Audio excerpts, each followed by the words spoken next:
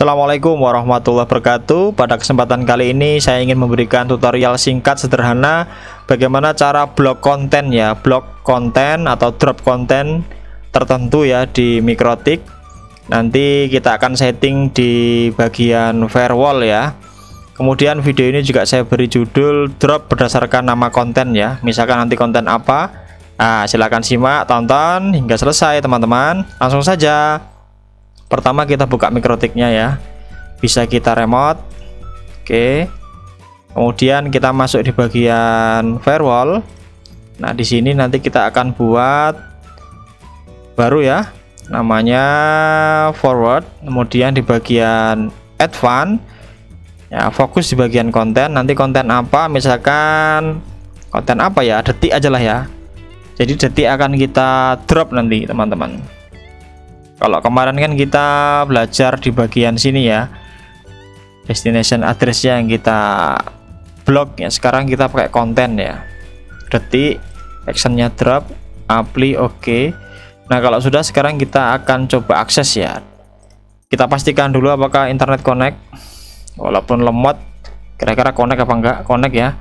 Kemudian kita akses detik.com oke. okay Oke sekali lagi detik.com terakses apa tidak? Ya. Kita akan coba. Ya saya berulang kali enter enter enter. Ya cuman loading gini ya.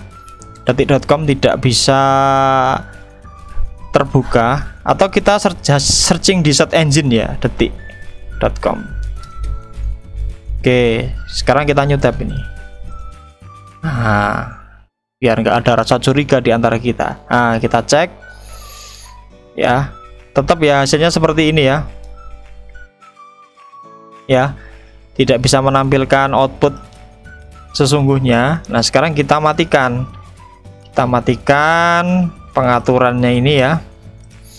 Settingannya ini kita matikan dengan cara Oke, terus Nah, sekarang kita refresh.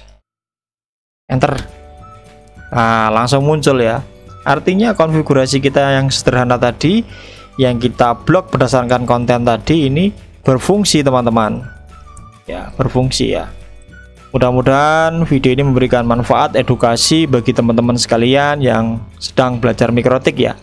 Saya akhiri bila taufik. ya. Assalamualaikum warahmatullahi wabarakatuh. Jangan lupa subscribe teman-teman.